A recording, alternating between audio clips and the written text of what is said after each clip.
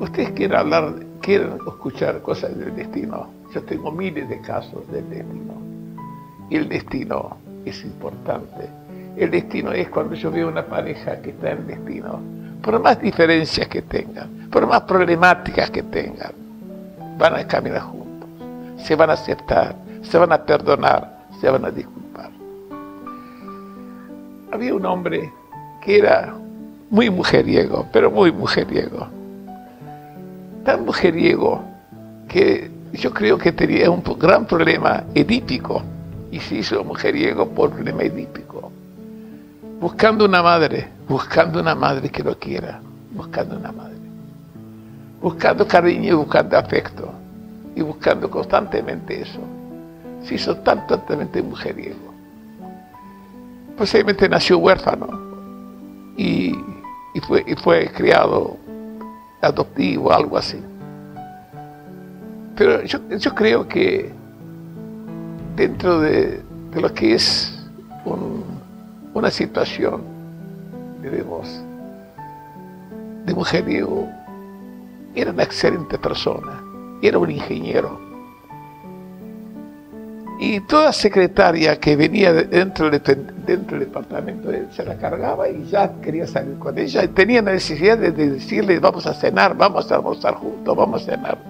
Una necesidad de cargar y conquistar.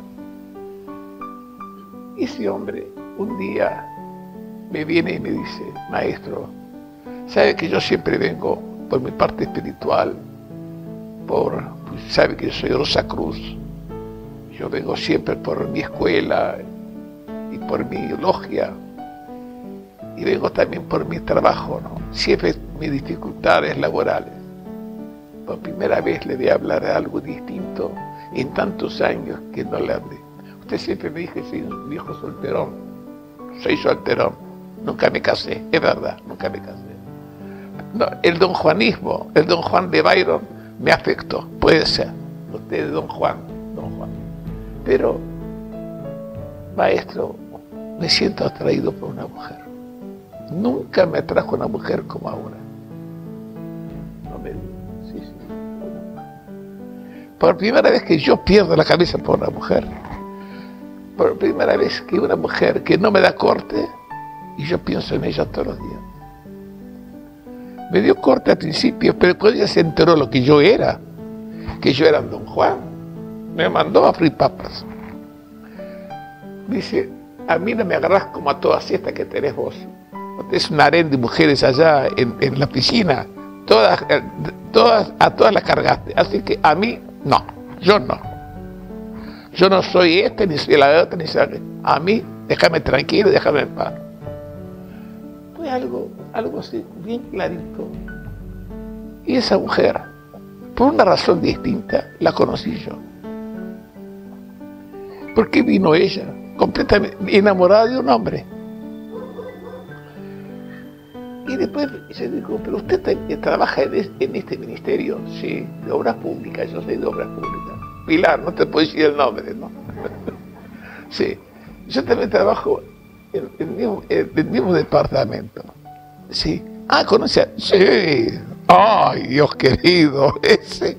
Yo lo vi acá por eso, yo lo vi en la sala de espera. Yo dije, pero tú acá, ¿por qué estará este, no? debe tener algún lío con alguna, usted se lo está salvando. Eso era su forma de pensar de ese hombre.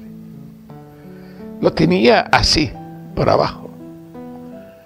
Y la verdad, que, que, cada mujer que lo conocía le tenía ese concepto, no tenía otro concepto de él que ese.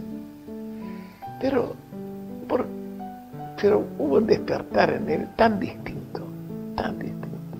Cuando yo vi que hacía las meditaciones, meditaba, pedía a Dios que se termine todas estas mujerías que tiene, todos esos programas. Me quiero casar. Ay Dios. Él era cristiano, hablaba de Jesús, de Cristo. Ay, yo sentía en la meditación que él estaba con Cristo. Ayúdame. Y ayúdame tú, María, también ayúdame. Quiero casarme, quiero casarme. por primera vez. Y yo digo, dígame una cosa, vamos a llamarlo Ernesto, ¿no? Ernesto, ¿de verdad que se quiere casar? Usted no me cree. Cuesta creer, cuesta creer. Yo lo conozco a usted como 15 años. Usted venía a la calle Colonia, todavía cuando yo tenía Sí. ¿Se acuerda de mí? En aquella época venía. Ah. Y ya, pasaron tantos años y, y usted nunca pensó en una mujer en serio. Usted siempre decía que usted, como su madre y su padre vivieron siempre separados, no pudieron estar juntos, que era un gran problema, que usted fue adoptivo, no sé, todas esas cuestiones de su familia y de su propia vida, todo eso, que a usted no le interesaba casarse, para vivir como sus padres. No, el viejo Pobre viejo. Una vida desgraciado. Y mi vieja una desgraciada. Yo, como ellos, no. Yo como ellos, no. No. Yo vi a mi viejo llorar. Y lo vi llorar a mi vieja también. No. Yo no me caso. Pero ahora un día. Ay. Ay, María, Madre de Dios, ayúdame. Me quiero casar. ¿Qué pasó? ¿Qué pasó? ¿Qué pasó con este loco? Este ingeniero loco. se había enamorado de una mujer y esa mujer también venía a verme que estaba enamorada de otro. Qué lío, qué lío. Y cuando él me habla de la mujer y me muestra la fotografía, la saqué de un lado yo no se lo puedo decir, no, no saqué esa foto. Acá la tiene. Es, Dios querido. Esta mujer viene acá, está enamorada de un hombre casado y que ella, el hombre casado, le dijo ya a ella que se está separando por ella y se va a casar con ella. Y este enamorado de ella. Y el destino es esta con este ingeniero. Dios Y cuando ella me dijo, ah, yo lo vi, es mi compañero.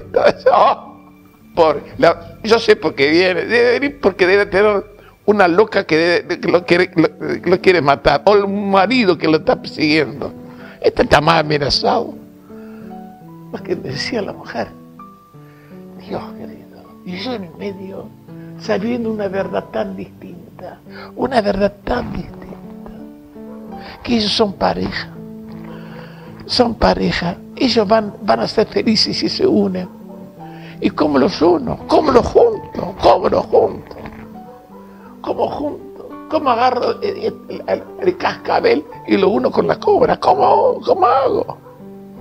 Son dos, dos, dos distintas picotean distinto, hablan distinto lenguaje, matan a forma distinta, envenenan, están envenenados constantemente con un destino, con un camino totalmente equivocado. Yo le dije a ella, usted no puede venir a una charla mía.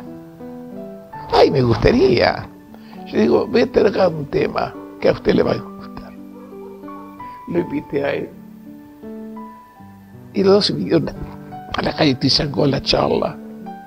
Y por una razón u otra se sentaron juntos, ¿no? Porque como se conocen, se sentaron juntos. Pero se sentaron juntos por sentarse, nada por ninguna atracción. Él sí, loco por ella, loco. Pero ella ni lo quería ni ver. Y después me dijo, Dios maestro, ¿con qué me senté, no? Dios, ah, lo que él se sentó al lado mío, dice, es un atrevido, es, una, es, sinvergüenza.